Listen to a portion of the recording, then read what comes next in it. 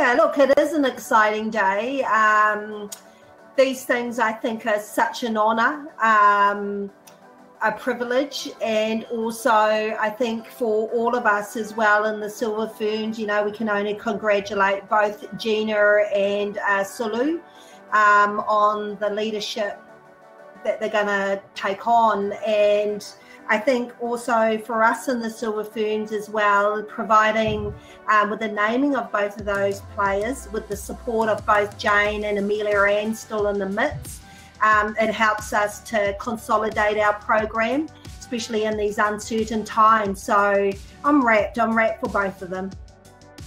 Look, they're sort of similar but different in some respect. Um, Gina, you know, I, I I've known her since the Invercargill days. I feel she's growing, not growing up, but she's definitely shifted over the last couple of years.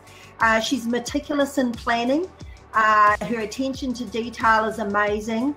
Um, she's also not afraid um, to put her opinions across, even though at times it may be different to others. Um, and she's got a great inner drive and motivation to be better and really pull herself apart to some degree um, in, in trying to do that. So she always wants to improve her game. Um, Sulu, I think, has over the years once again has had a great story, um, and she's in that same sort of readiness, I suppose, and that level of maturity where she's come out of obviously being successful for Mystics and um, them winning the ANZ Premiership, but also her uh, level of maturity, experience, uh, cool headedness and strategically she brings those sort of qualities to the current mix of our leadership group. So i think the great thing about both of them and also when i add mills and and um, uh, jane in there as well is a all very complementary but very strong young woman.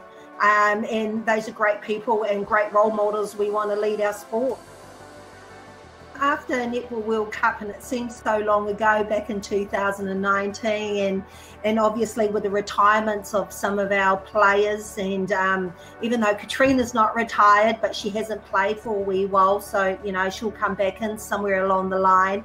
But we've lost over 400 caps um, and and we ain't gonna, you know, we're not gonna be able to build that overnight. And obviously with the COVID as well, you know, we can do, we can only do what we can do with the current copper players that we have.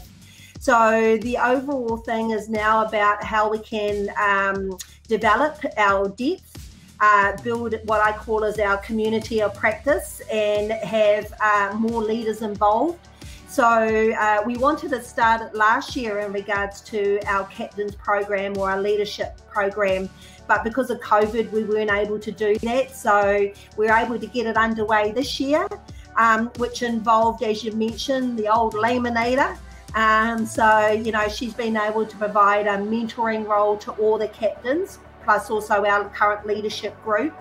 Um, and also, we did workshops with all the ANZ captains as well. So, the whole idea is how we can share the load, um, knowing that we have Sammy there, um, Shannon is in the mix of the Silver Ferns, and obviously Claire as well.